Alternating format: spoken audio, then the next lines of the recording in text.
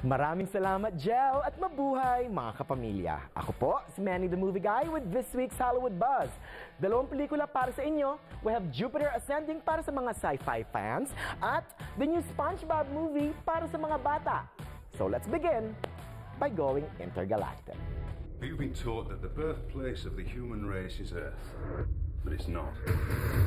The Wachowskis take us to the universe with Jupiter Ascending. Kagaya ng kanilang Matrix movies, ito'y tungkol sa Chosen One. Si Mila Kunis ay si Jupiter, isang illegal alien sa ating planeta na naglilinis ng bahay for a living. But little does she know, siya ang ating queen of the universe. I heard gravity and surf.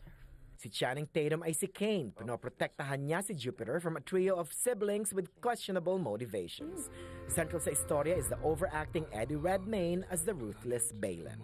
Before I let her take it from me. There's a lot to like in this new movie. Nagustuhan ko ang eye-popping action sequences, especially the chase scene in downtown Chicago.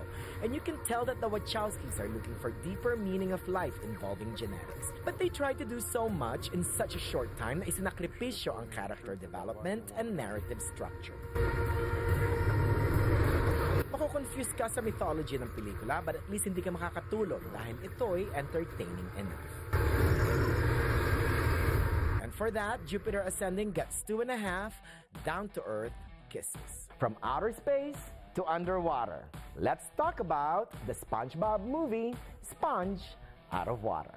In a recent sonar scan of the ocean floor, Mahigit ng sampung taon since we last saw SpongeBob on the big screen and judging by this new movie, they should come out more often. Kagaya ng huling pelikula, SpongeBob and friends leave Bikini Bottom and enter our dimension for their important quest. Someone stole the secret recipe for the Krabby Patty, SpongeBob's favorite food, but first, they must deal with Burger Beard, isang pirata played by Antonio Banderas.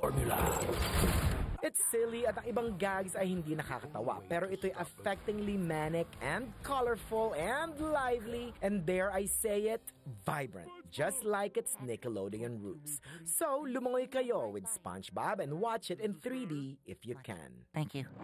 And for that, the SpongeBob movie, Sponge Out of Water, gets three Sponge Meets World kisses. So there you have it mga kapamilya, the SpongeBob movie ay ang aking pick of the week. Ako po, si Manny the Movie Guy, isang sponge out of water. Gel,